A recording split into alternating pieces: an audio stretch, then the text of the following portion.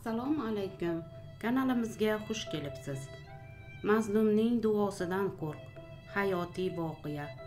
Yo'lda ketayotib mashinalar tirbandligidan ancha to'xtab qoldik. Yo'l chetida bir ayolni g'alati xatti harakatlari e'tiborimni tortdi.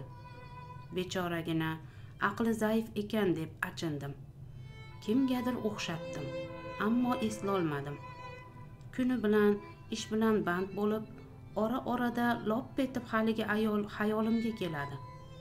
Kimga o'xsharkin deb o'sha kimni eslashga harakat qilaman. Va nihoyat esladim. O'ninchi sinfda o'qirdim. Akamning o'rtog'ini akasi uylandi. Kelin juda chiroyli edi.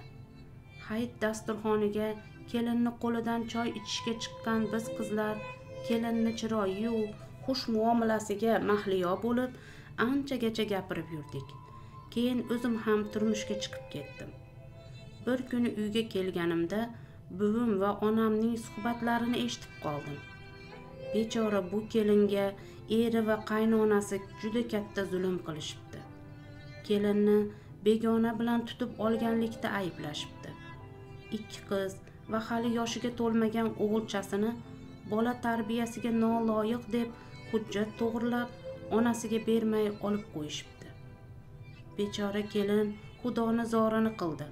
Eshigingizda cho'g'ri bo'lib xizmatingizni qilay bolalarimdan ayirmang deb rosa yig'ladi. Bag'ritosh er va qaynona erimadi. Farzandlari qatnaydigan bog'cha panjarasiga osilib ularni diydorini ko'rish uchun har kuni qatnadi.